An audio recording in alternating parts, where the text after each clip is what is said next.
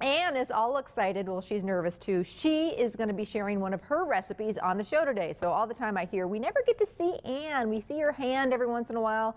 Once in a while, we'll get a little shot of her. Well, you're going to see her up close and personal, all her wonderfulness, and she's going to share one of her favorite recipes. She's, it's a recipe she just keeps bragging about. So I said, enough, get on the show and make it. So today we've talked her into it. She's going to come on and cook with us in just a little bit. So I've um, cooked up some bacon about six to eight strips of bacon that I'm just going to get out of the pan and get it cooled a little bit. Use my paper towel and get up some of that grease. If you don't do bacon, you could certainly do a ham. You could also do cooked and crumbled sausage. So this is one of those recipes that it's all going to work out really, really easily. And the fun part is we're starting out, we're going to use actually um, a can of uh, refrigerated biscuits. This is called a bacon and egg pull apart. And um, it's just a fun recipe that I think even the kids could help with if you wanted to do, you know, a special breakfast for mom. So we're starting out with two eggs.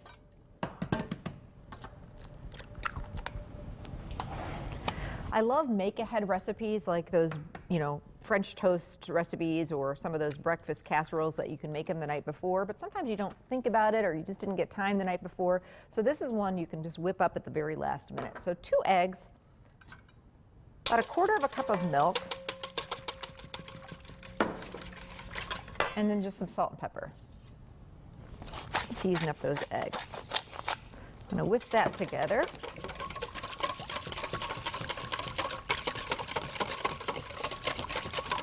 We'll get back to that in just a little bit. Now we're going to take that tube of refrigerated biscuits and we're using the big ones, the big, the grand biscuits.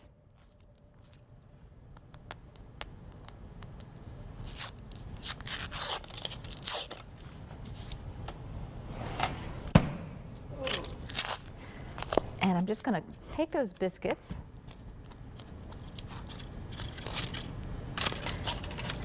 and cut them into quarters. Remind everybody, book club meeting is Monday night, coming up in just a couple days. Uh, it's still not too late to join us.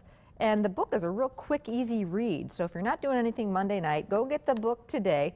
We're reading a book called Orphan Doors by a local author. Her name is Bee Seidel, and she actually it's a memoir. Uh, she grew up uh, in an orphanage in the Green Bay area, so it tells the story of her life and um, it really, really interesting read. Very quick read. You can read it this weekend, not a problem.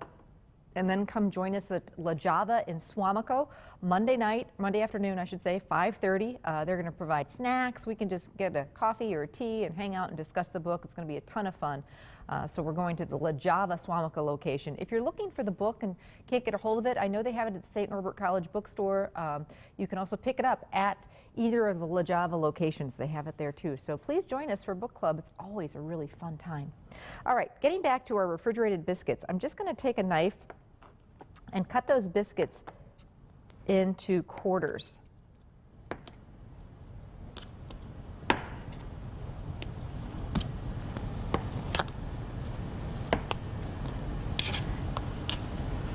I've got a smaller casserole dish that I'm spraying with cooking spray. And at this point, I'm going to take the biscuits and actually just drop them into the scrambled egg mixture. I know this sounds weird, but it's a really fun recipe. Perfect for last minute nice breakfast on Sunday or brunch or whatever.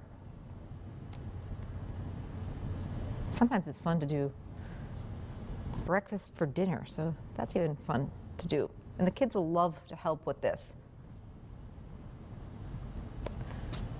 Okay. To this day, even Ireland, even though she's a teenager, loves, you know, just playing with the dough and hanging out in the kitchen with me. So I'm going to take a spatula and gently kind of coat that scrambled egg mixture, coat the biscuits with that. I've got some, about a cup and a half of shredded Swiss cheese. I'm going to take some of that bacon cheddar cheese, excuse me. Swiss would work fine too. So I'm just going to take my hands and crumble up some of the bacon. As I said, diced ham would work. You could pick up some ham from the deli and dice it up. Um, cooked crumbled sausage would work.